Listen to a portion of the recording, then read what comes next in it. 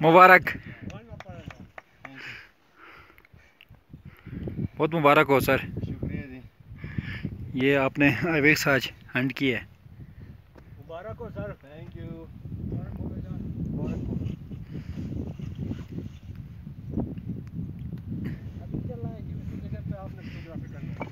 यार ये ग्लेशियर आना चाहिए। हाँ ले आओ इधर ठीक है ले। आओ